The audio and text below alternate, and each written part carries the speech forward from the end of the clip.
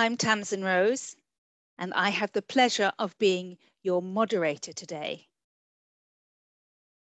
And I'm delighted to welcome you. We're just waiting a few seconds to allow people to join from Zoom. And this afternoon, we are going to be talking about why urgent action on the EU zero pollution ambition matters for health. And we're going to be hearing voices from communities and vulnerable groups who are most exposed and affected by pollution.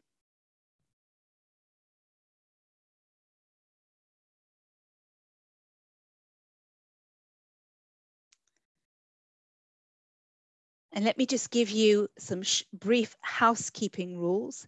This is a webinar and it's being recorded and we will be using the recordings for communication purposes and on social media. Um, we have allowed two different ways for you to interact with us. If you look at the bottom of the screen, you'll see in your menu, you have a chat function and a Q&A. The Q&A is for you to submit questions to our panelists Please use the chat function if you have technical issues, you need some help, you can't hear anything, that's what it's for. So we're separating off the dialogue with our speakers with requests for technical support. We're delighted to offer you interpretation today, and this event is being simultaneously interpreted between English and French. If you'd like to use that, you need to look at, again at the bottom of your screen, and you'll see there's a round globe, and it says interpretation. If you click on that, you'll be able to choose English or French, and that way you'll be able to see and hear the language that we're using. So this is our program for this afternoon. We have a fantastic uh, set of speakers who are joining us, and we're privileged to have them amongst us. And let me just introduce who they'll be in, in a moment. But before I do that, just to set the scene, I'd like to introduce Genon Jensen who is the executive director of HEAL, the organization that's hosting this webinar. And she's going to give us an understanding of why we're talking about zero pollution, why now, and why it's so important. Genon, the floor is yours. Thank you very much, Tamsin, and welcome everybody. My name is Genon Jensen, and I'm the founder and executive director at the Health and Environment Alliance. And it's really my honor to welcome each and every one of you today at our online event. So thank you for being with us. So why does urgent action on the EU's zero pollution ambition matter for health? And why did we invite people who are most affected by pollution, but rarely heard to speak up today? The stories of contaminated communities and populations have inspired and fed into our work since I founded HEAL almost 20 years ago, alarmed at how pollution was harming people's health, particularly those most vulnerable. The stories have also helped shape our vision of a healthy planet for healthy people and also for building up our advocacy on EU environment and health policies. For almost two decades, our Alliance has worked to raise awareness about the detrimental effects of environmental pollution to our health and put disease prevention on policymakers' minds and agenda. Together with our members and partners, we've heavily invested in conveying the scientific facts and figures about the multiple health conditions and diseases, sometimes with transgenerational effects, all of which are associated to toxic pollution in the air, water, or our food. But we've also made sure to communicate on some good news. That is that ambitious EU environmental policies to reduce pollution and prevent disease also prevent disease. And that offers a great public health win. We've repeated time and time again that preventing pollution at every source is urgent. It has to be done with binding and enforceable legislation, and it has to be guided by the latest science. Our community work has paid off. With the 2019 EU elections and the EU's commitment to a zero pollution ambition under the EU Green Deal, we finally see a landscape shift, and that is music to our ears. It's a major achievement for our environmental health groups to see a narrative, one even more powerful and concrete in what the EU is aiming for. Zero pollution for healthier people and a healthier planet. HEAL's overarching demands for transitioning to this zero pollution are threefold. Zero harm from pollution, that's what we're gonna talk about today, zero money for pollution, and zero delay in stopping the pollution. Now we have an amazing opportunity right before our eyes to ensure that the EU laws and actions are aligned and prioritize health within the Green Deal and the zero pollution ambition. And we very much hope its speedy and ambitious implementation. The stories that we're going to hear today are going to help us do that, and we promise to spread them far and wide. You are contributing to HEAL's mission to ensure that the health evidence and health voices are heard by politicians and policymakers in Europe and beyond to protect those most harmed by pollution. Your sharing real life stories on the health harm of pollution will give us testimony and a human face on the urgency and importance to aim for pollution, eh, zero pollution. They will also inspire us. And most importantly, they will put a spotlight on some of the diseases that are linked to environmental pollution, such as cancer, lung and heart disease, allergies and asthma, diabetes, obesity, or Parkinson's disease, to name a few. Today's event couldn't come at a better time. We're just days ahead of the launch of the EU Zero Pollution Stakeholder Platform, of which HEAL is a proudly a member, and which today's Commission's representative, Veronica Manfredi, will surely talk about at the end of the event. So on behalf of HEAL, its board and its members, we warmly invite you to sit back, put on your listening ears, and open your heart to voices from Anne, from Julien, from Laura, from Rosamund, and from Baskut, who are all members or representatives of affected communities and vulnerable groups. We are really deeply grateful to you all for being with us here today. And with this, I would like to hand over to Tamsin Rose. And thank you very much. Thank you very much, Genon, for explaining, but the ambition that you've set out in HEAL, that when the Commission's proposal on you know, zero pollution comes forward, that it you, your three tests, your criteria for success should be that it should be have zero harm, zero funds for pollution, and zero delay in implementation. I think those are very clear and very simple to understand. And our panel are going to explain just why that matters and illustrate it with stories from their own lives and their communities. So you can see on screen who we have, and I'm delighted to welcome Dr. Laura Facciolo, Dr. Anne Leendertse, Rosamond Kissy Debra, Julien Guillard, and Baskut Tuncak, who will be all sharing their stories and their path that brought them towards activism and the kinds of campaigns that they want to use to achieve change. And as uh, Genon has said on behalf of HEAL, it's so important that people who have the most exposure and suffer the most impact, their voices are heard and listened to by the policymakers. So let me start by uh, inviting uh, Laura, Dr. Laura, to um, unmute yourself put put your camera on and tell us tell us your story. How has pollution impacted in your life, and what has you, that made you want to do about it? So first of all, thanks for um, inviting me to this uh, very interesting webinar. Uh, my name is Laura Facciolo. I'm part of the Mamme No PFAS group uh, of Italy. Uh, we are. I will share my screen just to show you uh, some images of uh, taken from our website. So uh, we are a large group of people uh, based in the Veneto region in the northeast of Italy, where unfortunately uh, we discovered five years ago uh, almost to have a big problem in terms of PFAS contamination due to a company that was discharging PFAS uh, into the, um, let's say, into the uh, small river and also contaminating uh, the aquifer. Um, um, the, I will show you just to give you an idea of the area that was impacted. We are speaking about uh, a total of uh, uh, 50 municipalities with mm, more than 300,000 people impacted the um, the area with the highest uh, impact in terms of uh, PFAS contamination is uh, um, uh, having uh, um, more than 100,000 inhabitants.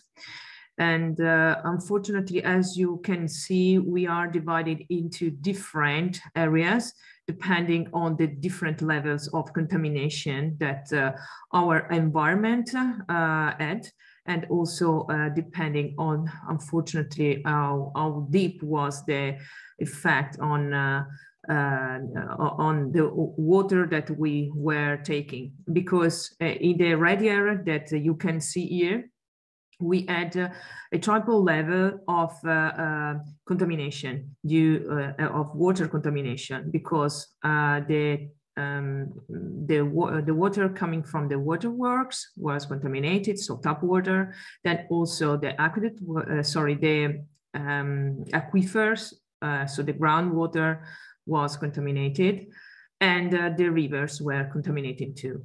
So what happened is that at the end, also our food was contaminated and uh, the, our region performed some uh, um, analysis on the food and uh, uh, we immediately asked to see the uh, whole results to check what was the situation.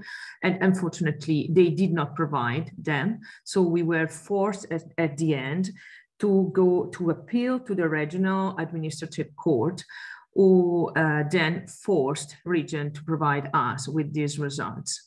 Uh, we provide these results to uh, epidemiologists who analyze them and uh, unfortunately the situation is uh, not good as we were expecting and we still have not any right it seems to understand what is the uh, which kind of food can be um, taken from and without issues in our region.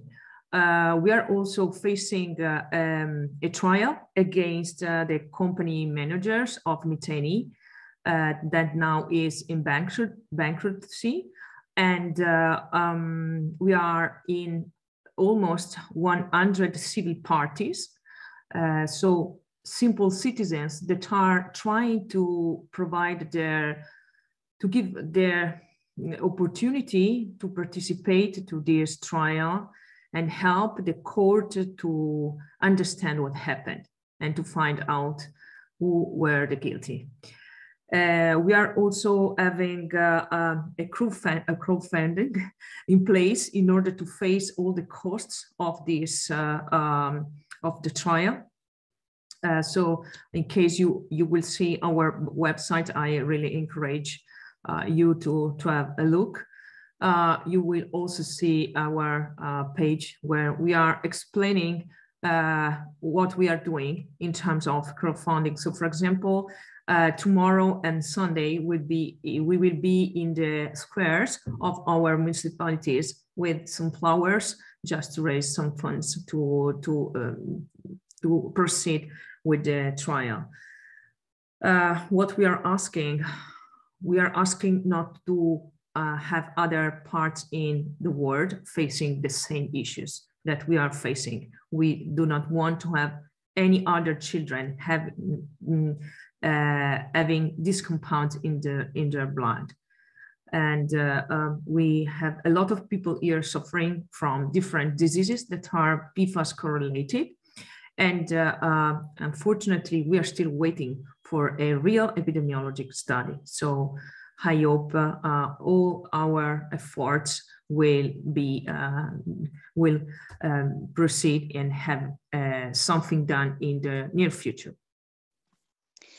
Thank you very much, Laura. And I'm, I'm particularly struck by the activism and the, the women who came together to demand an answer and when necessary, you know, using legal means in order to force the regional authorities to do what they should have done, which is recognize a, a legitimate risk to their citizens and act to protect them instead of you having to do this on your behalf. So thank you for that and sharing the story, what brought people together and the extent to which you've engaged a community in, in fighting this and also that you're still waiting for a real epidemiological study which would perhaps show even more impact than you've been able to gather yourselves. So thank you for sharing your story, uh, Laura.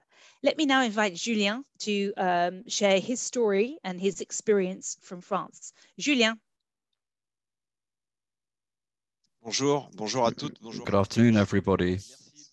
Thank you for this invitation, and it's very important for us to uh, have this opportunity to speak on behalf of the victims for pesticides. Um, my name is Julien Guillard, I'm 37. I live in France, in Western France, Nantes.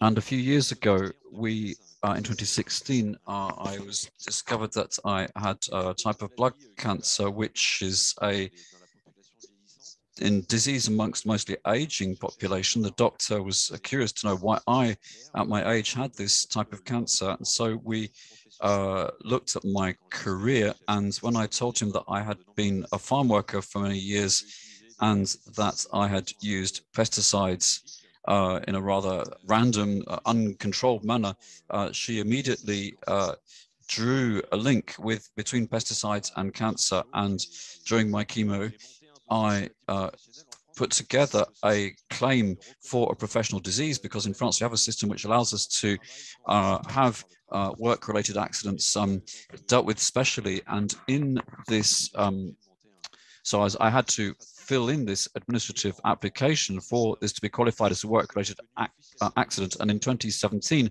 I was recognized uh, as a victim of pesticides with this um, cancer, which was uh, seen to uh, blood cancer, which was seen to be recognized as the result of pesticides. And when I put together this application, I had to uh, bring a number of um, pieces of uh, paperwork together. And so, unfortunately, my story is so uh, mundane. Uh, but it does say a lot about uh, the use of pesticides. These stories are to be found uh, with many victims of pesticides. Um, the uh, farm uh, seed was coated with insecticides uh, still manufactured in Europe but prohibited in Europe, which is red powder, which was used to coat seeds to protect them. And we did that in a cement mixer. There's a lot of dust and we were just uh, alongside. Uh, we didn't have any protective equipment uh, because nobody had told me about the chemical risk, and my boss did the same, and we weren't really aware of the danger at that time. Uh, we had headaches, uh, we had a bit of nosebleeds, but in farming, uh, we were pretty not, you know, going to run to the doctor straight away. we think, oh, we're never going to be ill. We're tough guys, and I then left farming, but I then went into landscape gardening, uh, so maintaining green spaces and so on. And we unfortunately uses used another uh, well-known herbicide or product. And I thought I was lucky at the time because it was uh, warm, uh, very warm where I was, and I had this uh, and a leak in my spray, uh, which I used. And so, in fact, I was constantly being sprayed with this mix of water and pesticides and other plant care products. And I thought that was a good thing because I was being kept cool during heat waves. But when I went to see my doctor and uh, they diagnosed cancer, I realized that I was not at all uh, fortunate because I've been in constant touch with pesticides without any awareness at all of there being any type of danger. And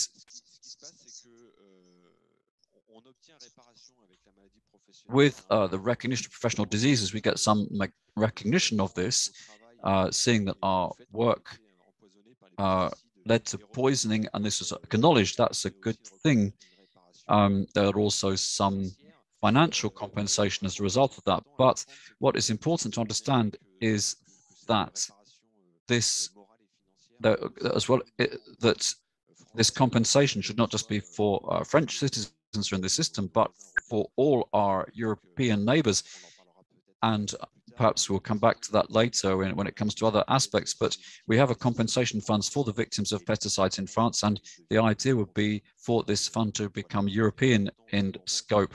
And I'm, I'm keen to raise awareness of that. And that is why I'm here with you today uh, to make people aware uh, of the risk from chemicals and also in particular those people who are in close contact with these type of products is very important because that is how I came across Phyto-Victimes, which is this uh, association non-profit which uh, helps victims of pesticides. I joined in 2017. I'm now vice president, and we're also uh, uh, with you today as a result of that membership. Thank you Very interesting. Again, you, you shared your, your path, and I was very struck by a few things that you said. The first was that neither you or your boss had any idea about the risks that you were running, and nobody used protective equipment because nobody knew what the problem was.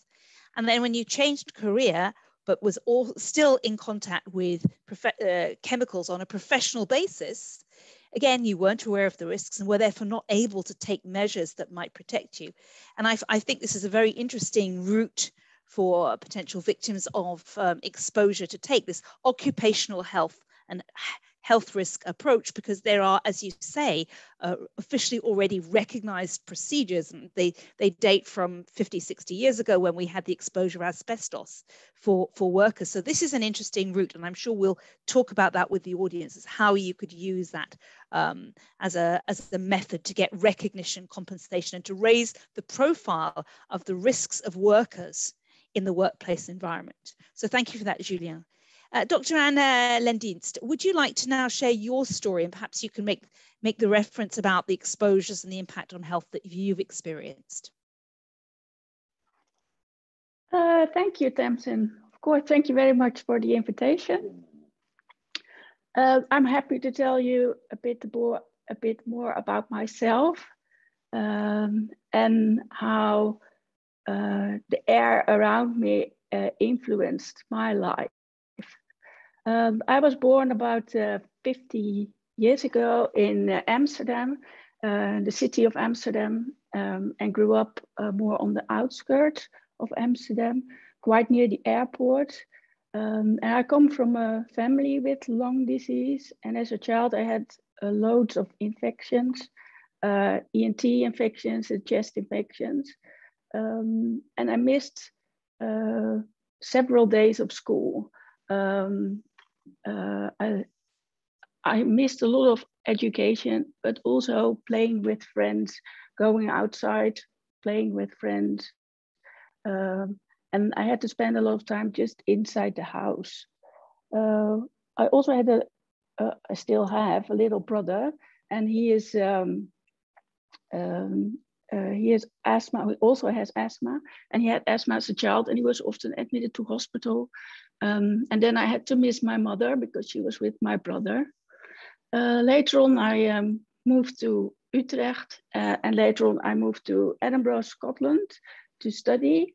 Um, and I um, studied for clinical pharmacy.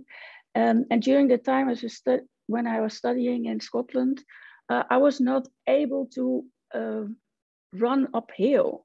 Um, and um, well, for me as a Dutch person, it was sort of a mountain.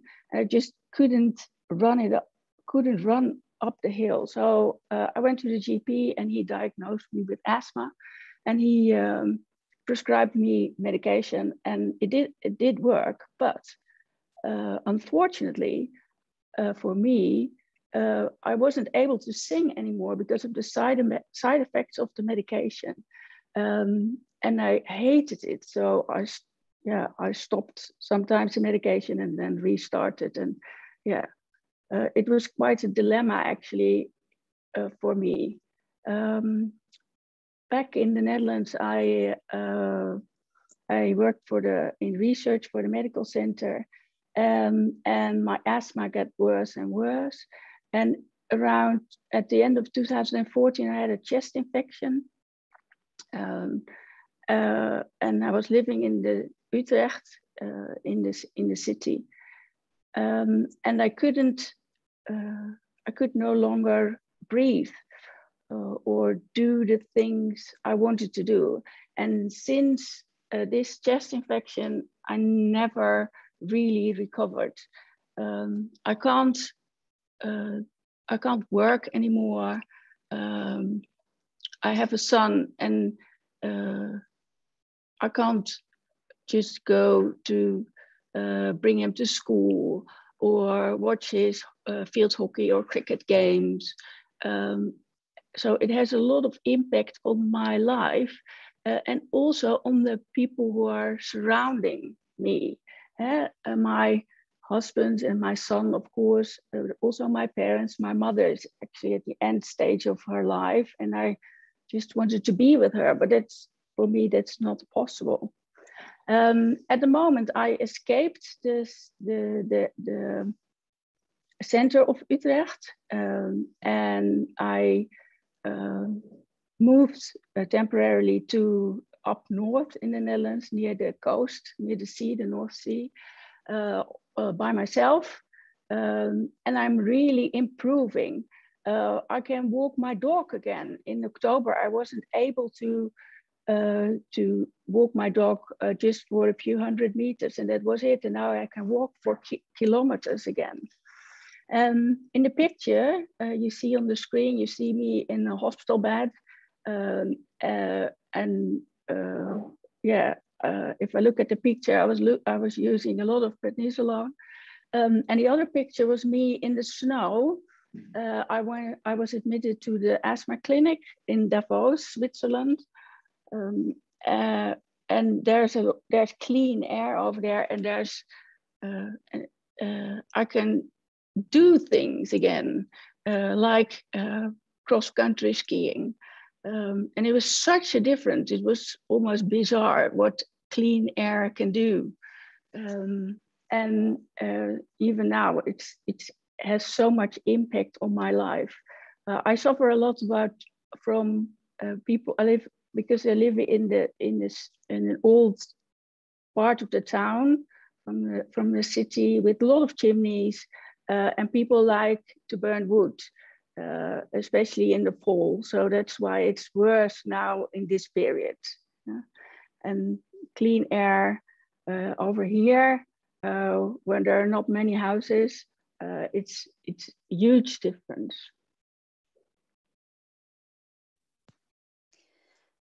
Thank you very much, Anne, for, for sharing this story and quite dramatic pictures which show, you could almost say they look like different people. One is clearly active and free and able to move around and has enjoyment and passion. And the other person is, is very clearly unwell and in hospital. And that, that's the same person. And the, the difference there is the quality of the air around. I think that's a, a really important message. And thank you again for sharing just, just how sensitive um, people's lungs can be and what a difference. This isn't about coughing in the corner one day. This is very real, very major impact on the ability to, to function and have a full family or uh, professional life. So thank you for sharing your story, uh, Anne. We're now going to have a uh, video message from Rosamund Kissi-Debrah, whose daughter um, unfortunately uh, had a, a, major asthma attack and uh, died as a result of it. And for the first time ever on a death certificate in the UK, they recorded air pollution as a cause of death, which was a, a huge landmark victory for the advocacy uh, of Rosamund. So let's hear her message. My name is Rosamond Adukisi Deborah. I'm the founder and director of the Ella Roberta Family Foundation. It was set up in memory of my late daughter. Um, you've come to film me today. I am in my office. I'm also the WHO advocate for health and air quality. Um, and basically the foundation was set up in my late daughter's memory and it was to find out why she died. It's also to promote research into asthma and also to look at the impact of air pollution on human health. And what is it that you want to ask policymakers in Europe and around the world to do? I absolutely right now have one ask. As we all know, the WHO guidelines came out recently and this has been worked on for almost 15 years and they have realized that even with the old guidelines 8.8 million people were still dying prematurely so therefore these new guidelines which are going to be adopted hopefully by countries, it could save 80% of the people that die. So I urge all governments everywhere now to have a, to have a look at these, these new guidelines and to implement them and they will save they will save human life really children um, older citizens and their populations at general. Look, air pollution is the biggest environmental disaster of our time. And these guidelines will tell us that our governments care about our health and well-being. And I believe that clean air is a human right. And it's about time now, with all the evidence, people stop talking and start taking action now. Fossil fuels killing us.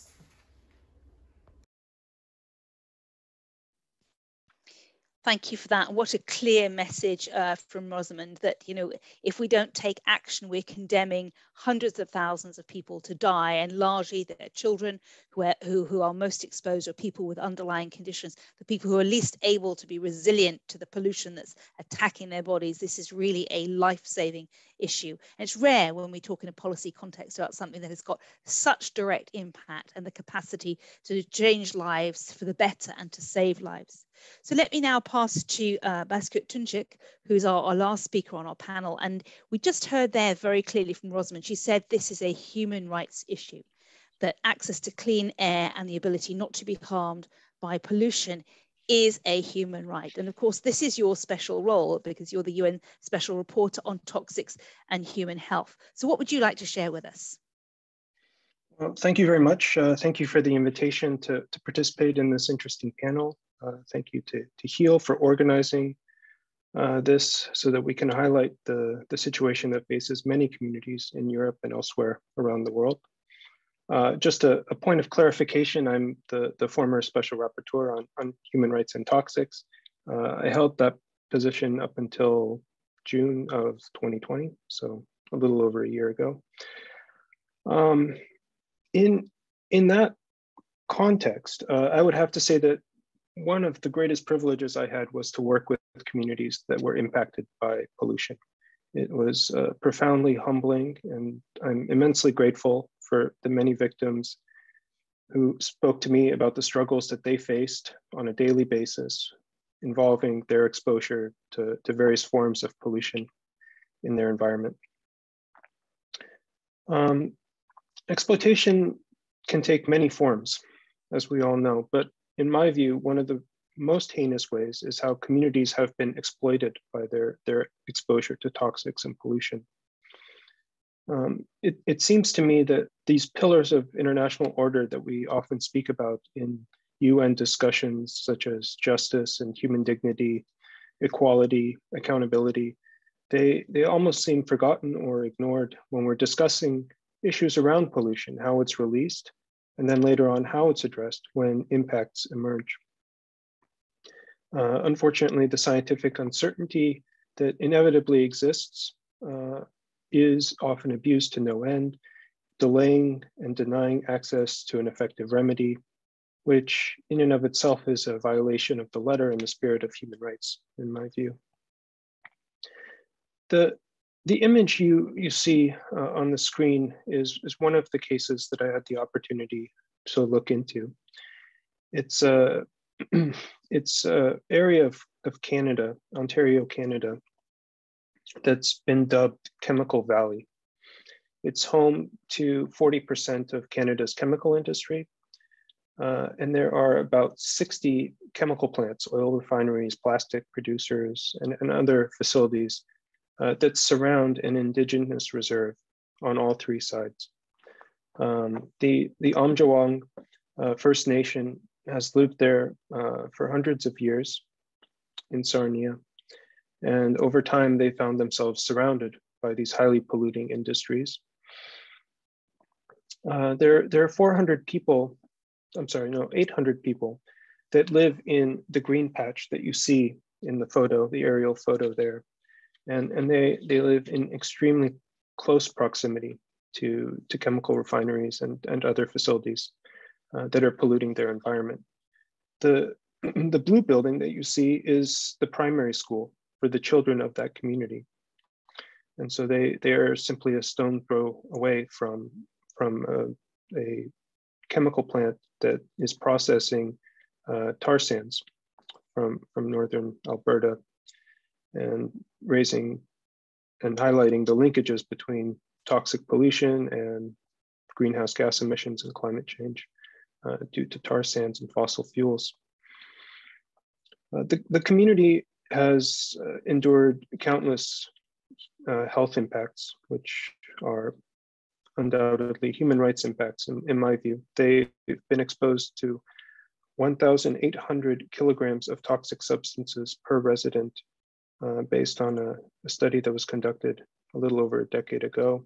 They suffer from the highest level of particulate matter emissions in Canada, although that has recently declined, fortunately, but still is very high. Um, the community has experienced uh, birth ratios that have been two to one of girls to women, uh, girls to, to men, and physical health impacts ranging from cancers to heart disease, respiratory illnesses, and other associated health impacts. But it's not just the physical impacts that they face, they also have endured uh, psychological issues uh, from sirens that continue to blare throughout the day and night, uh, making them wonder if if this is this is the siren where their their home is going to be destroyed by an explosion. Um, and they've also felt the the the psychological burden of feeling like um, like their community is sacrificial, and and their rights are not being respected. Um, this the experience of of this community is is one one of the the most uh, profound uh, that I would say that I've come across in terms of the situation, the unique situation they're in, being surrounded on all sides essentially by chemical plants. Um, but they they are not unique in terms of the impacts that they're experiencing and the violation of their rights uh, due to pollution. Uh, in, and in nearly every case that I've worked on, there have been impacts on children uh, from, uh, from pollution. Uh, and these have often been the greatest, the greatest risks of health impacts, but also those children have faced the greatest obstacles in having their rights respected, their substantive rights and their procedural rights, including their right to be heard. For example, in Kosovo, children today uh, continue to be denied access to an effective remedy. Um, hundreds of children died in South Korea uh, from respiratory illnesses due to a humidifier sterilizer that was exported from, from a European country. Um, children of pregnant women who use pesticides or other industrial chemicals. Um, these are just a few of the different cases that have, have come up, uh, that came up during my tenure as the UN Special Rapporteur. Um, in, in my view, every child has the right to a, a healthy environment. Um, this, this comes uh, through many different uh, legal instruments, but uh, most clearly to me is the Convention on the Rights of the Child. When you put the provisions of that convention together, it's very clear to me that every child under that convention has the right to a healthy environment or should have the right to a healthy environment. Sadly, however, pediatricians continue to lament uh, that we're suffering from a silent pandemic of disease, disability, and even death, in some cases, uh, of children who are enduring toxic pollution. Um, under the Convention on the Rights of the Child, states have an obligation to ensure that the best interests of the child are prioritized in developing environmental laws. Uh, states have a duty to prevent exposure. Uh, this is implicit under the Convention on the Rights of the Child. And to this end, the zero pollution commitment of the EU is fundamental and necessary to secure the right of every child to a healthy environment, to fulfill the obligations of, of every state that's a member of the European Union towards children uh, within their territory. And so I urge the EU to find the necessary ambition, uh, the necessary urgency in implementing a zero pollution agenda uh, that will be able to secure the right of every child to a healthy environment. And thank you.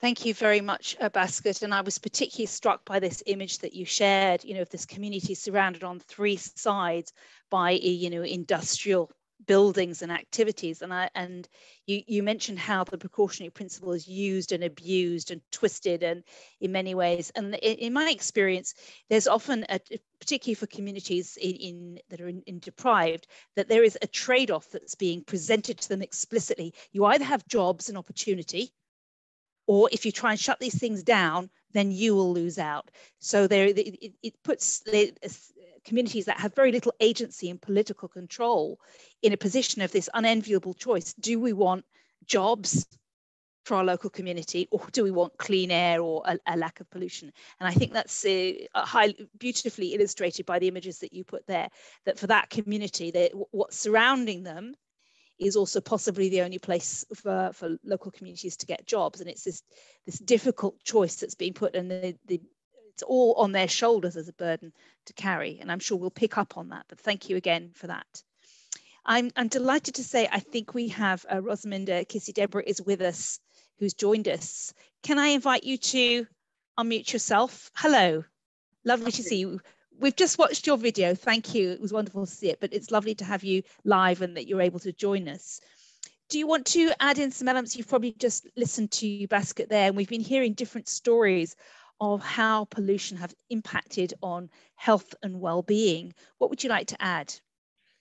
Yeah, do you know what I was actually doing? I was about to email Sarah and ask her, interesting enough, just hearing that gentleman speak, I've just come on, that whether I could get a copy of the recording and send it to my lawyer. So that probably shows you how powerfully I felt he was speaking and how paramount the rights of the child is. And next week will be a year since the verdicts of the um, inquest into my late daughter. And the coroner was incredibly clear about what had happened to her, i.e., the reason why she had asthma in the first place. Um, it, it, you know, air pollution was responsible, and ultimately it caused her death on the final night.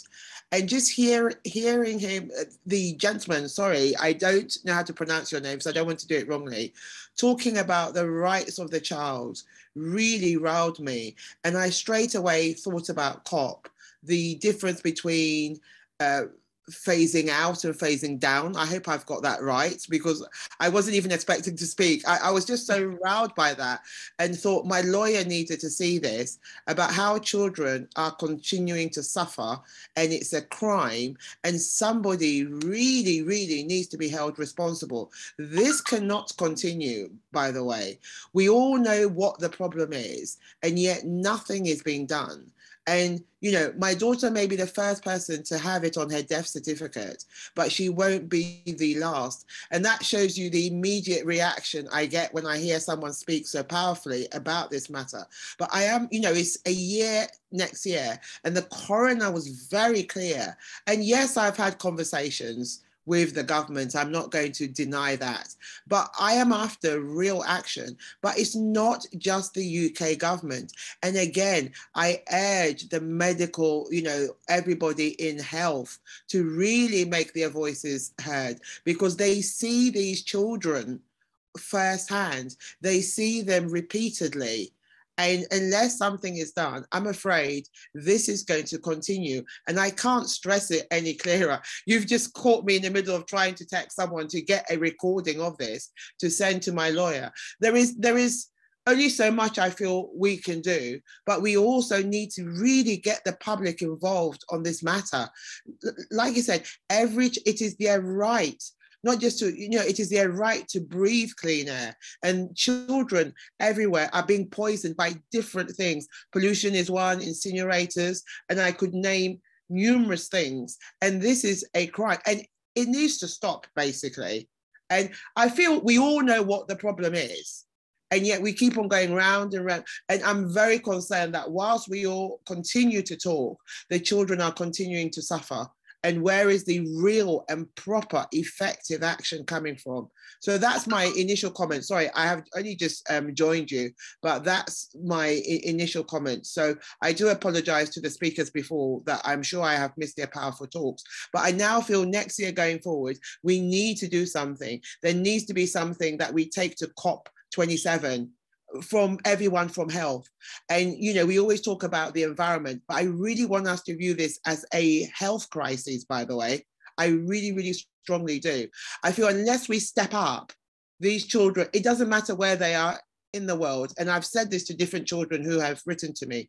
I might be based in the UK, but a child's life in Africa, India, wherever is just as valid. And I do think I'm not sure what because I don't have all the all the answers, but I do think I can't let my daughter's verdict just go by the wayside if if you see what i mean and wait till there's another child who dies and we go through the same thing again that's my tasmin that's my initial reaction to the conversation Thank you very much, um, uh, Rosamund, for sharing that. And indeed, of course, the recording, we will share it with you so that you can use it because we had some fantastic uh, uh, speeches by some of our earlier um, members of the panel. And I'd, one, one thing that strikes me very clearly, Rosamund, you said, you know, that the coroner had a clarity of vision and was able to say clearly, this is the cause it's air pollution and that we we lay the blame at the door of air pollution earlier julien said he had a doctor who was curious because the type of blood cancer that he was diagnosed with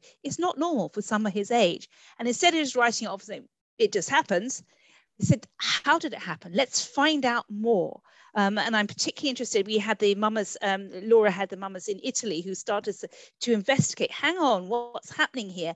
And had to use legal means to force the authorities to reveal the results of a study to understand what was affecting them. So it sounds to me like we, there's a common theme coming through here that you need to have uh, an organization, pre presumably it's the, the health community who are first seeing these impacts, who have both the curiosity and the commitment, the engagement to say, hang on, there's something here that needs to be done.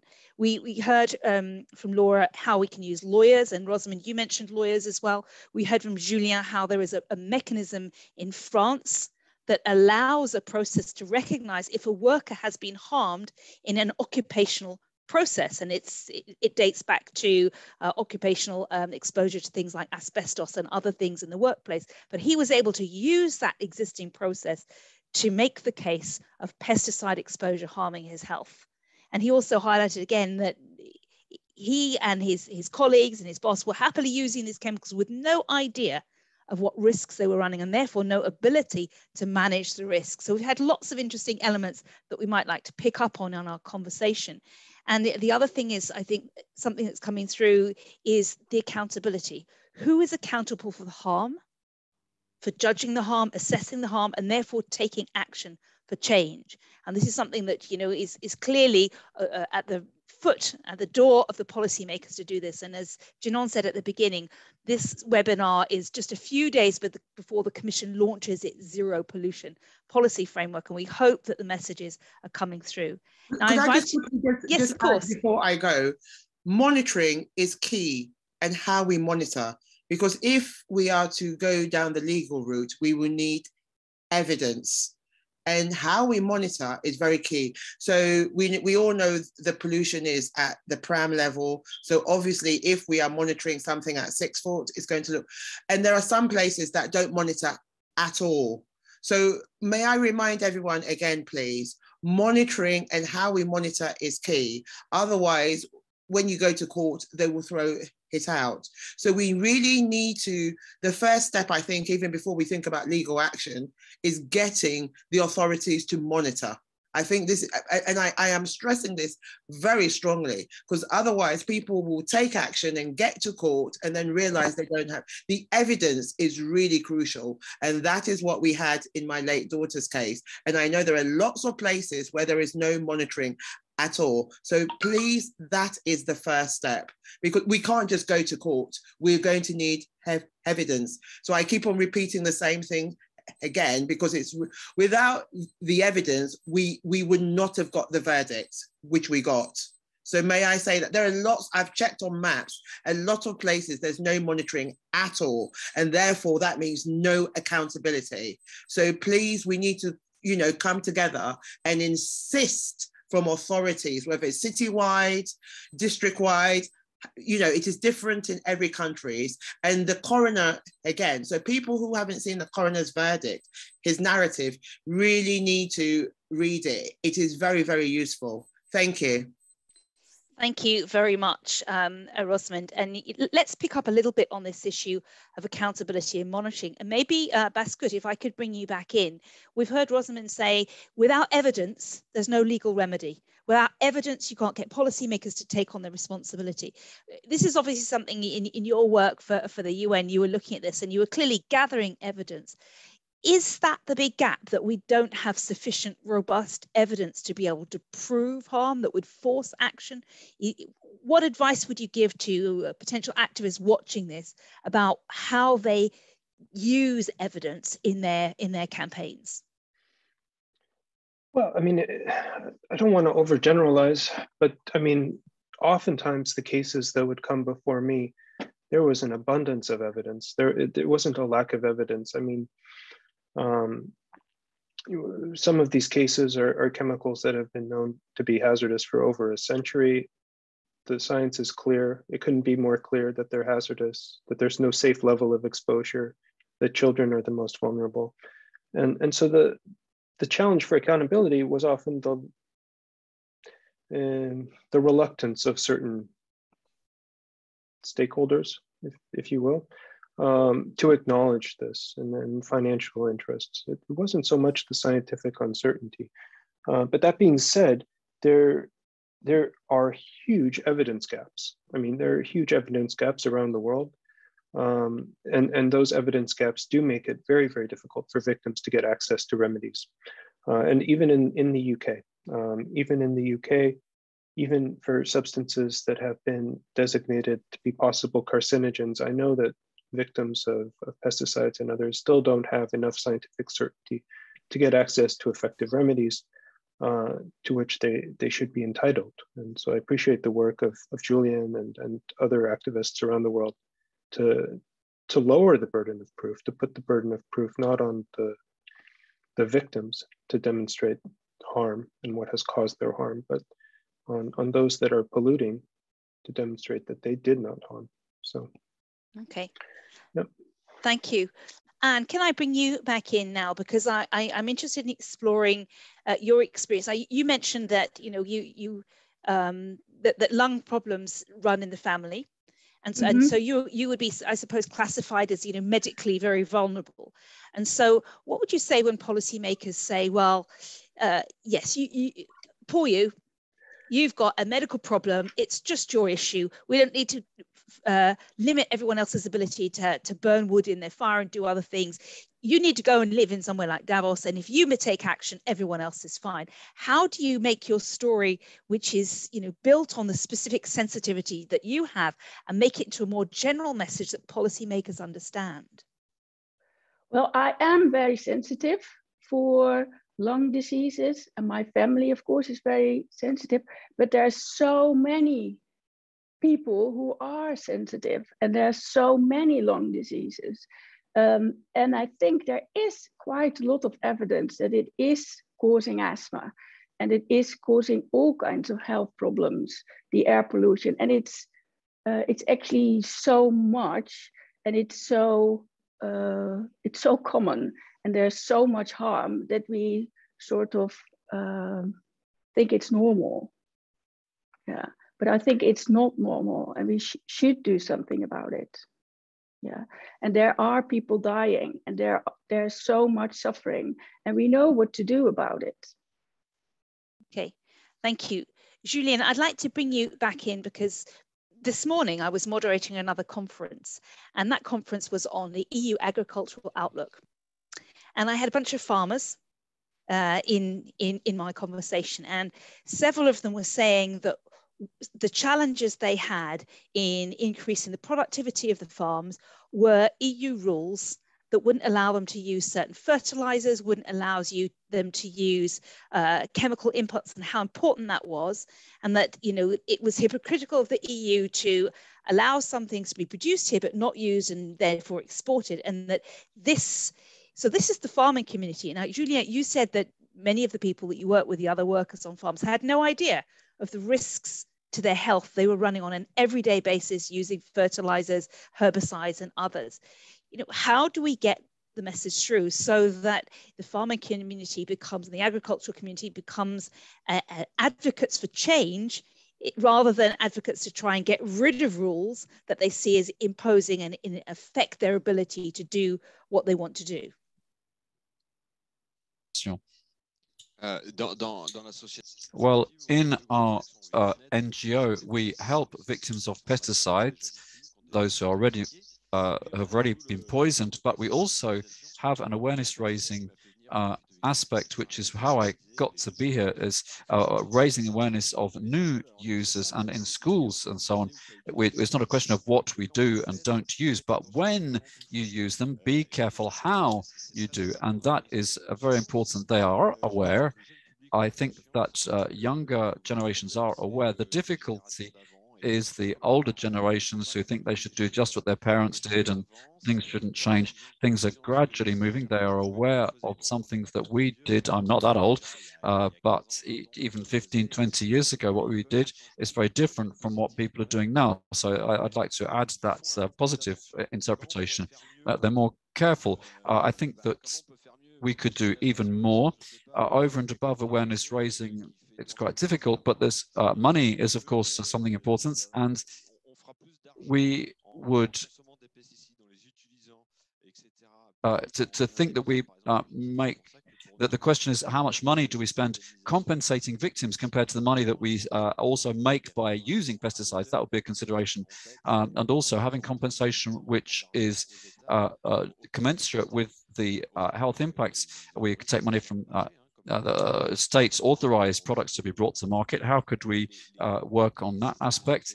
Uh, looking at uh, health systems that do not have enough information about improper use and the uh, firms themselves, another financial consideration. If this is a little less profitable for them, uh, then and it costs a little more for health systems and for national governments, perhaps policymakers would be pushed to amend things so that they did not have to hand out so much money in compensation. Uh, uh, and perhaps if they didn't bring in so much money from pesticides that are produced in Europe, uh, uh, that are made in France, uh, but used um, in uh, Africa, India, and other countries with people who are therefore exposed to these pollutants the audience, please feel free to submit questions using the Q&A function um, because we have a fantastic panelist who, who are full of experience and, and positive energy for change. So feel free to submit your questions.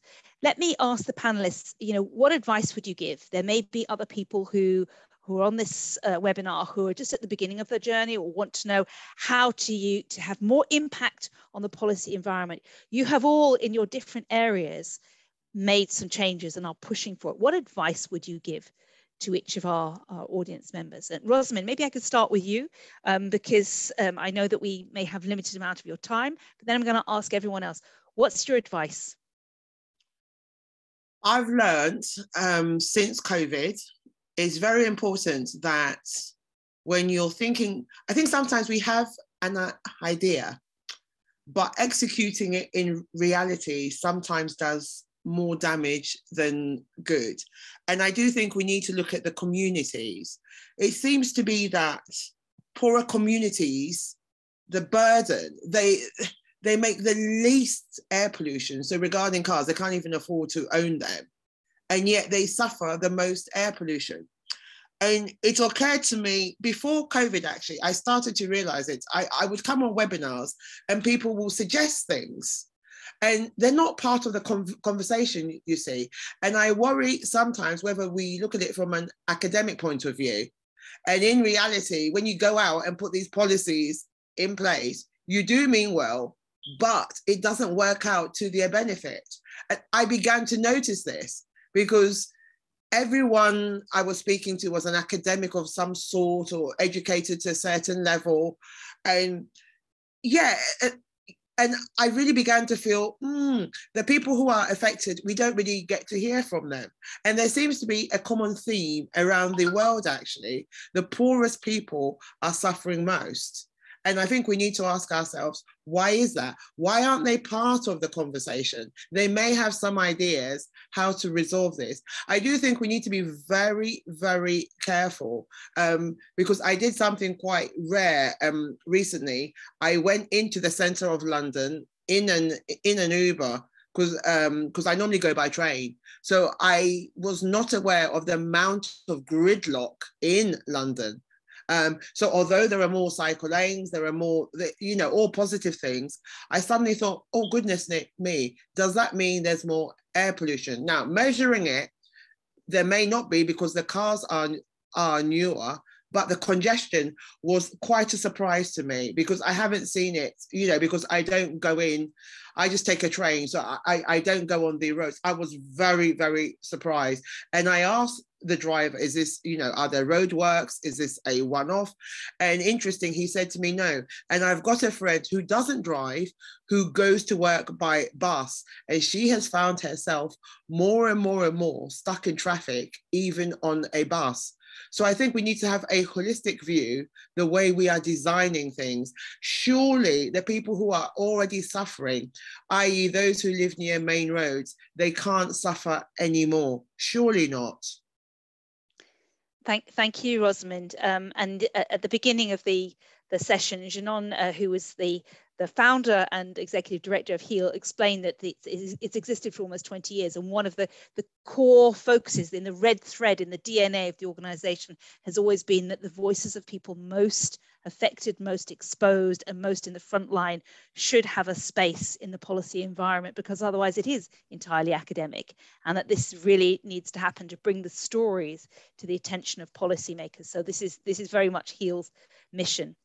Laura, could I bring you in on this? Because again, yours is a, a, a relatively short path. You said just five years ago, uh, you discovered that there was a, a leak from this, or, or, either a leak or a deliberate re release from this uh, company, and the extent to which it had uh, poisoned the groundwater and the food, and the, you, you created a group of 100 mothers to come together and start to do things. What advice would you give from the your, your, your path, which sounds like it's had up and down moments, the legal cases and others. What's your best advice to advocates?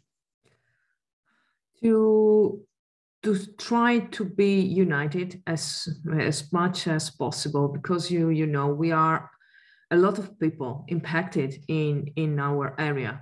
And uh, obviously we all are different ideas on how to manage this on how to uh, contact a different level of institution journalists i don't know everything. And all ideas are good. All ideas needs to be uh, developed.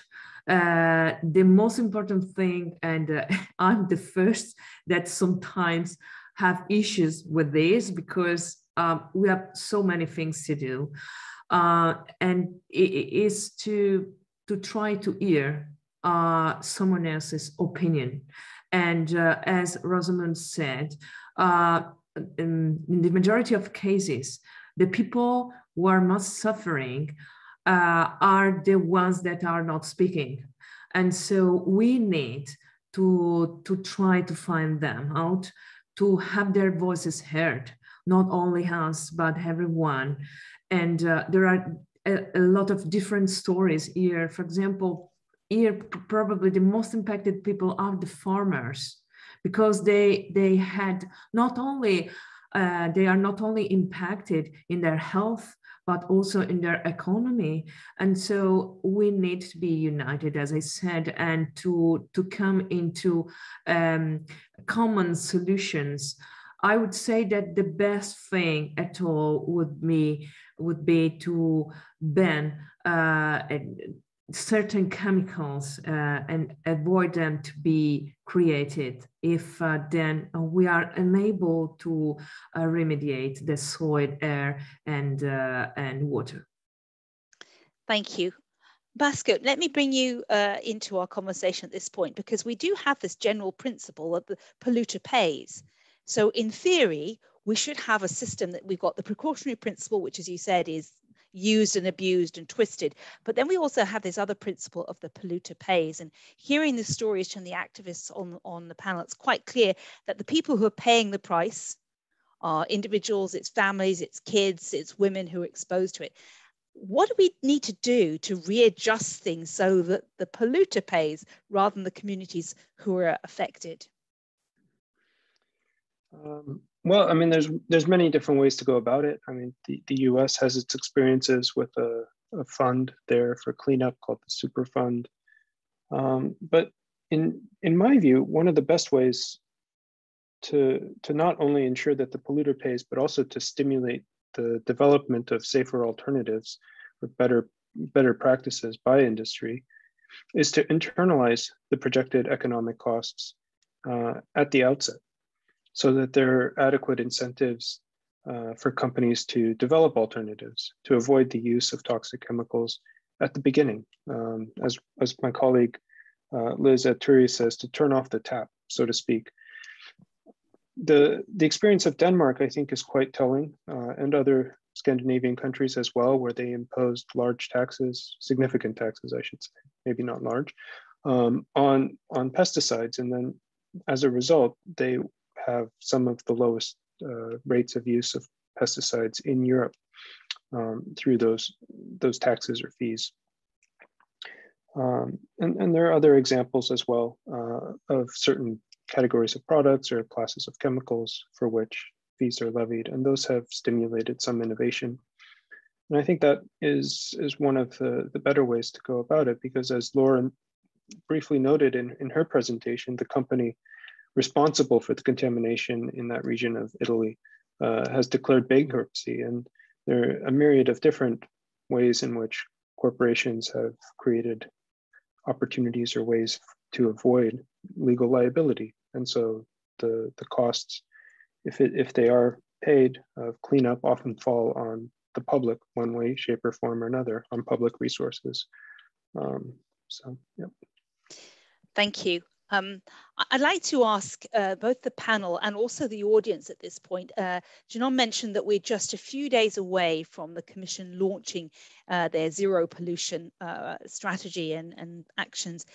If I had Aladdin's lamp and I could, uh, I, I rubbed it until it shone and I could give each of you one wish, possibly three if you've got loads of ideas, one wish, what would you like policymakers to know and to do in that zero pollution action plan. And Rosamund, I see you, you're up first, but this is also an invitation to the audience. You can put it in the chat. What's your wish that policymakers knew and acted on? Rosamund. That I'm going to have to go for a major ask. If, if, if I could wait. Aladdin's lamp, go for it. Children's right to breathe clean air easily. That for me will mean I might even retire tomorrow she says, go back to teaching. If if it means so much, I can't even explain it because Ella's right to life was breached, and so are many others. So it means more to me than anything. And I think through that, then people will become, or whoever's responsible, then, you know, yeah, I think that I, I think about that all the time. So yeah. that's an easy one for me. But it's such a big ask, isn't it? But yeah, my my wish is that no child would ever suffer how my daughter did. Because yeah. um, I tried to explain it to somebody the other day. Um, it's a bit like being poisoned. So if you try and imagine children being poisoned, but they don't die quickly, slow, slowly, and some people um, someone was on the call i saw who has a lung condition. So they yeah. suffer for years and years and years. Yeah it, it's something I, I think about quite a lot. So that, that's an easy one for me tasmin. Thank you rosamund. So the, the the wish is that policymakers acted as if children had a right to life and a healthy environment and that uh, that it's a human right. So thank you for that. And um, after we've i've asked all the panel i'm going to invite the european a colleague from the european commission to to comment on this. And i know she's already uh, indicated that this the, the right to the child's right to a healthy environment is recognized in the document. But anne let me bring you in next um, you, you were the person who shared your story of, of, of, you know, just how much impact the difference in the quality of air makes to you, whether you can literally function on an everyday basis. But you have to live apart from your family. You have to be in another city or an, actually not even a city, far from uh, human pollution any in city. order to enjoy yeah. that, any city. so what's your wish? Well, my personal wish, of course, is just to breathe and to breathe clean air and not just for me, but for my children and for all our future children. Yeah. And I wish that the policymakers would focus on prevention and uh, therefore not just in healthcare, not uh, uh, trying to cover up or making uh, invest a lot about making people better, but prevent illnesses. Thank you for that. And, and, and you'd think with, with COVID being such a, with, there's never been a stronger political focus and media attention on breathing, the power of breathing, the, the difficulty of breathing, etc. I think this, this is our window of time to make it clear that for many people, daily life, they are, they are as deprived of clean air as people are who are suffering from COVID. And if we need action on that, I think there's, there's a window there that policymakers suddenly get what it's like not to be able to breathe properly and think this this is the reality for people like yourself Anne who are yeah. very sensitive to pollution in the air so this is an opportunity yeah. to, to move and it's forward. just that you, that I and a lot of other patients we just want to do other things than just struggling for air thank you Laura if I could give you Aladdin's gift and I could uh, give give you the gift that policymakers would know and do something what would it be I would ask, uh, first of all, the policymakers uh, to have transparent information shared with uh, everyone, with the citizens and uh, uh, the inhabitants. Uh, because unfortunately, all this situation that was caused in Italy was due mainly to the fact that someone was aware of this, but this was not made uh, aware to uh, the, to the uh, inhabitants, to the citizens, uh, we had not the right uh, to choose uh, which water use for our children. So, and what I also told to Marcos Orellana that was in Italy and with us last Saturday, I explained that I don't want children um, that are having this um, company footprint in their blood. And why I'm telling this? Because we are having children uh, with the, these compounds in their blood at birth, unfortunately, because they are taking these when they are during pregnancy, so when they are within uh, their mother's womb. So I don't want this footprint in our children's blood anymore. Thank you, Laura. A very powerful wish. Julien, can I invite you to share if I had the gift to give you a wish? What would you like policymakers to do and act on?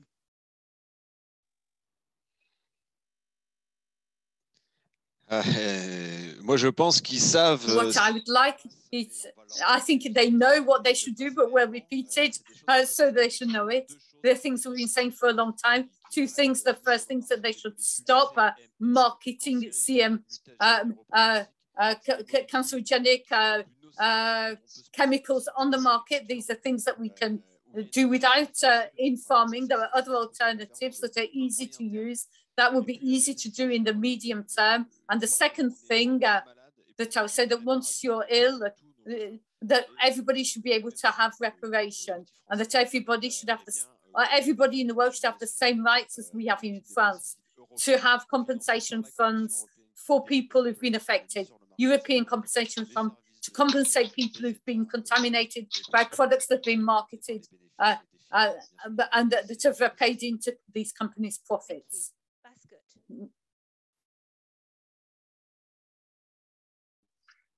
Well, I think everyone everyone has made some some very good wishes, and there's not a whole lot more I could I could wish for. But maybe one one thought from my side is that uh, governments recognized that the state of the science today will not be the state of science tomorrow, or five years, or ten years down the road. Uh, what we know today uh, is is not going to be uh, health protective 10 or 15 years down the road. And so we really need to focus on prevention and elimination uh, as much as possible to, to minimize the health impacts that, that are resulting today. Thank you very much. Before I hand the floor over to uh, Veronica Manfredi from the Commission to comment on it, I'd like to bring Genon back in because you opened our conversation by explaining why almost 20 years of activism has been inspired by the work of communities fighting to protect themselves, their families, and advocate for their rights. Um, can you just give us a, a, brief sense of how this this webinar with the messages of people affected by pollution, how are you going to use that to help drive the work you're going forward? Thank you, Tamsin. I hope it's, I just took off my earphones. Can you hear me okay? Great, okay.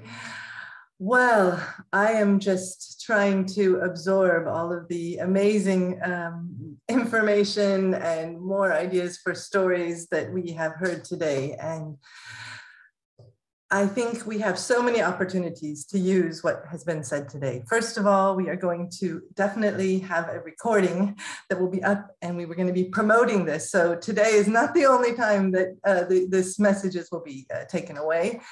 And we're also very much hoping to continue to use it, uh, maybe highlight it in our stake, uh, the platform, um, Zero Pollution platform, um, which will be happening, I think, next week. And as we go forward, we're going to be coming back to not only the people on this panel, but hopefully we will have identified other communities and groups and try to be more proactive in bringing those voices in our position papers, in our advocacy, in our social media and outreach with policymakers. Um, and I think most of all, we're going to be very inspired and remember what we are doing and why. So thank you. Thank you, Genon. And it has indeed been a privilege listening to people sharing their experiences and how they have transformed their personal stories into these incredibly impactful messaging networks, groups, activities to affect real change. Veronica, let me introduce you and let me invite you to now take the floor. You're from uh, DG Environment, the part of the Commission that has responsibility for these areas around environment and health. How do you respond to the things that you've just heard and how can you take some of this energy and these, these requests? I mean, you possibly can't personally grant Aladdin's lamp wishes, but how can you translate this expectation from citizens into action that could have a real impact for them? Thanks a lot, Tamsin. First of all, let me tell you that I feel uh, so encouraged and enthused by all what I hear to the extent that I really feel a strong recognition that what we are doing what we have published and what we are preparing is really on the right track. What do I mean? First of all, uh, you know that the European Commission actually has already adopted both a chemicals strategy and the zero pollution action plan. These two documents, which have to be really seen together, come with super important messages and announcement of practical actions for all the people that have been speaking today. Why? We have, for example, said that for PFAS, we are going to ban them except for exceptional uses. Work is ongoing inside our departments and in cooperation with European Chemicals Agency to secure that we go towards at all time the less toxic options. Uh, a few weeks ago, a few months already ago, our commissioner, Commissioner Sinkevicius, has actually launched a high-level roundtable with the biggest CEOs of the chemical industry, basically to try and implement all the principles of this chemical strategy and translate it into action. What do they entail? They entail the basic notion that in Europe, we want to move progressively towards what we call safe by design, the low toxicity as the principle. When we revised the drinking water directive uh, in 2018, we looked at PFAS very precisely. And may I also report with a lot of engagement by the Italian government that I think has well understood how serious the situation has been in the Veneto region with the gravity of the problem that uh, Laura Facciolo has been so vividly bringing to us. I think we are united in saying never, never again and this is why in the revised drinking water directive that is going to become applicable across the European Union as from June 2023, the rules on admittance of PFAS are extremely stringent. We are close to zero allowable limits. Also, I heard a lot and I sympathize a lot with the request for make evidence finding much easier. Rosamund was very strong on this one monitoring, clarity. There is a lot of work in the pipeline in the European Commission. In the Zero Pollution Action Plan, adopted in May, we have announced that for the very first time in December 2022, we will come up with the first ever zero pollution monitoring and outlook report. This means that for the first time across the 50 years of working also from our side on pollution prevention rules, we are going to try and bring them together to give to our citizens a picture of how well we are performing when it comes to air, waters, both fresh waters and seas, and of course, soil pollution. On soil, let me tell you, as you may know, that we have launched just a few weeks ago on the 17th of November, the first strategy on soil pollution that is going to, that has also announced the possibility of having a law on the health of soil. I was so sensitive to the points that Julien brought forward, pesticides and cancers of farmers. And I think that your remark, uh, Tamsin, are very pertinent. It's the paradox of agriculture. They are often the first in lines to suffer. Unfortunately, if, if we go and visit certain oncological departments of some hospitals, even here in Flanders, a lot of the patients are actually farmers. And yet, there is a resistance to change in the name of, I think Julien said it again, money, production, habits, mindset shift. And here again, I think that Rosamund and other colleagues, Anne and others said it actually, but when they said, the doctors, the doctors, uh, the doctors that play this crucial role in helping people understand to connect the dots. And then when it comes to the right to remedies and to redress, don't you think that we live a little bit of paradox today? People can get a decent redress as consumers if they buy a detergent in a supermarket and it happens to be i don't know something that has a misleading packaging element etc so they if they've suffered a certain level of economic damage we have by now across european union new rules on consumer collective redress. Yet if your child and maybe other children suffer of chronic asthma, or like in Rosamund case, they die, there isn't anything written black and white that really facilitate consumer, sorry, collective redress actions. I personally believe, and here I speak really in my personal capacity as the director for zero pollution, that this is the area where we have to work together and where I need uh, even more uh, organizations like HEAL that give the voice to those who usually don't speak. Those who speak are the big corporations, are the representatives of our current economic model. If we don't manage to outreach to those who are impacted the most, we will always have a kind of, you know, biased picture on the ground. So that's why indeed the work of the NGOs is so crucial. Uh, finally, uh, if I may say, I think that it's also very fair to make the point that it's important to make polluting much less interesting business. And there I think you enter into the area of penalties, sanctions. Today, in the majority of European uh, laws, we have a standard uh, sentence that says that it's up to the member states to set the sanctions in case uh, pollution takes place. And these sanctions must be effective, proportionate, and dissuasive. This is standard legal text. The reality on the ground is that I think we see enormous discrepancies across our 27 member states, uh, with only a fraction of them really going towards, in my view, truly dissuasive sanction that possibly look also at the turnover of the companies that commit certain breaches. And uh, this also indeed having, you know, a new way of thinking of the sanction could also create indeed a liquidity stream for possibly having either at national level, at EU level, specific funds to compensate the victims. But I would hope, first and foremost, to prevent at source. What can I bring today to the table? I can bring also the fact that the Zero Pollution Action Plan has been setting quantitative targets that we have to achieve by 2030.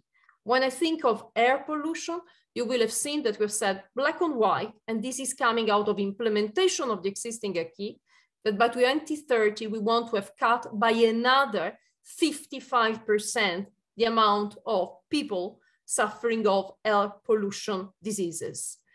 This is really implementation of the existing acquis, but in parallel, we have committed to table in 2022 a revision of our current ambient air quality directives that precisely will look at the just adopted guidelines of the WHO in order to more closely align with them.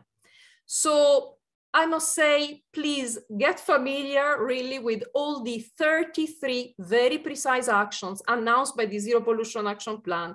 They are partly legislative and partly, I would really say, engaging actions because we also believe, like all the speakers in today's panel, that unless we speak and engage with all the communities that are often at the same time the pressure cause and the victims of the pressures that we realize, we will not change the reality on the ground. And this is also why I'm so happy to have HEAL, indeed, as a member of the Zero Pollution Stakeholder Platform that will be launched by Vice President Timmermans and Commissioner Sinkevicius next week on the 16th. That is a perfect fora where we want to engage among the stakeholders, but also with other fora that all do job that is very pertinent for reducing pollution, be it the circular economy stakeholder platform, the biodiversity platforms, the climate pact platform, where together we can concretely elaborate ways to translate all the actions into reality on the ground. This is what we want. And I think that we are really united with you. Thank you. Excellent. Uh, thank you very much, Veronica. And it's very welcome to have someone from the European Commission who has such passion and commitment and interest in engaging and is willing to both listen to the stories from people affected by pollution and then is willing also to take that into account when these policies are being developed. Of course, this is going to be a, a long battle, but uh, we take the strong message, I think, that the area that now needs to be built up in terms of either legislation or practice is the capacity for collective redress. Um, the I think Laura spoke a little bit about this, how she's in, in Italy, they're taking a case on behalf of 100 people who are affected by a legal case to force change.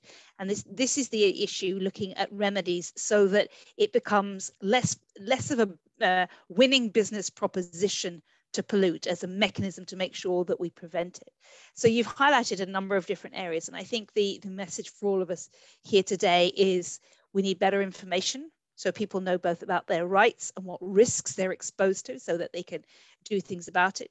We need to make sure that we can prevent um, things that pollute because this is obviously the, the key area and we need legal tools, financial tools, and we need to have processes in place and we need much greater accountability we've come to the end of our time together. And honestly, it was such a privilege and inspiring to hear the stories of different people sharing their personal experience and explaining how th- what their lived experience was turned them into advocates and activists for change and what can be achieved when people come together and, and use what tools that are there. But nobody has to do this alone. That's why NGOs like HEAL create the space uh, to come together, to share experience and information, to strategize, and to be able to have access to open the door at policy level so we can achieve real change.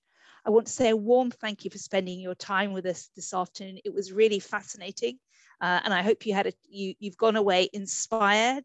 Uh, it was thought provoking.